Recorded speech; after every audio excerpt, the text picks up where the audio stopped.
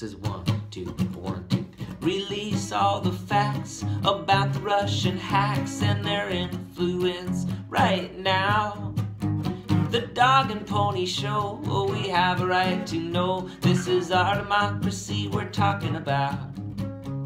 And if you won't make it public, well, alright, I have just one more.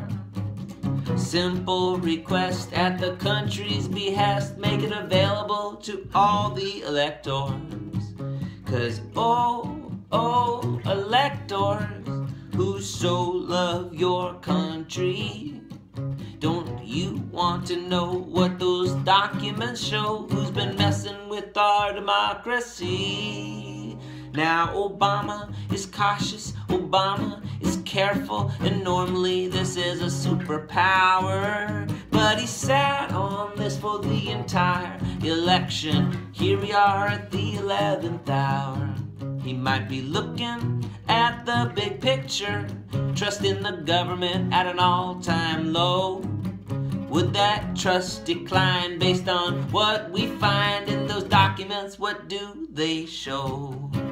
And if you won't make it public, well, alright, I have just one more simple request at the country's behest. Make it available to all the electors. Cause, oh, electors who so love your country. Don't you wanna know what those documents might show? Who's been messing with our democracy? Who's been messing with our democracy?